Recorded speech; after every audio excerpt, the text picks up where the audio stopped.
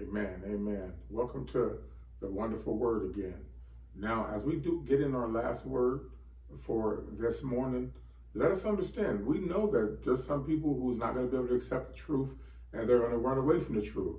And we encourage you to stick around because it's only the truth that can set you free for you to know the people that are around you and what's going on. God tells us to try the spirit by the spirit for a reason, not the flesh by the flesh. If you end up depending on the flesh and getting deceived, terrible things can happen to you. Hallelujah. Right here at Genesis 10 and 2. And then we're going to look at Ezekiel 27 and 13. The sons of Japheth, who we already talked about, is the gate. Joshua already at 626 after he fell Jericho, who raises up this is curse. He will lay the foundation in his firstborn and set up the gate with his lastborn. Let us look at the gate, the lastborn. The sons of Japheth, Gomer, Magog, Madai, Javan, Tubal, Meshech, and Tyrus. That's seven at Genesis 10 and 2. Let us look at these three issues that come out of the posterity of Japheth, Ezekiel 27 and 13. Now, back in Tyrus a long time ago, this nation was set up perfect by the shore. All the traders used to come there and trade. Let us look at what God says about all the people that was coming through there trading. Look what he particularly phoned in on. Javan, Tubal, and Meshech that we know come out of the issue of Japheth, who was our European brother, who is the gate.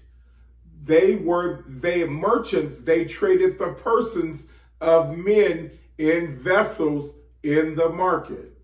So these three out of the issue of Japheth, Jay traded the persons of men. They were doing slavery. They traded the persons of men and brass in the market. That is wicked. They're in the market trading persons and brass. Let us understand now, this is the word of God who was around way long before we was. Amen. Let us get the spirit to understand what God is telling us. Now remember, we pointed out seven posterities. Look at three.